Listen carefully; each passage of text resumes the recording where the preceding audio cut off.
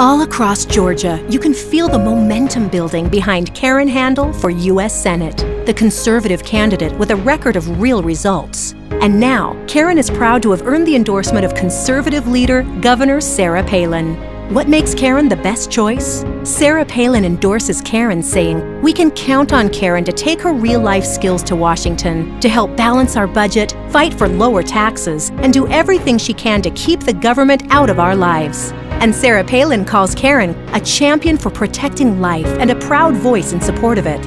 After six years of Barack Obama's failed policies, Sarah Palin leaves no room for doubt. Karen Handel is the conservative candidate who can win this race and hold this seat for the GOP. Karen Handel for U.S. Senate, endorsed by Sarah Palin, with a record of real results for Georgia. I'm Karen Handel, candidate for U.S. Senate, and I approve this message paid for by Handel for Senate Inc.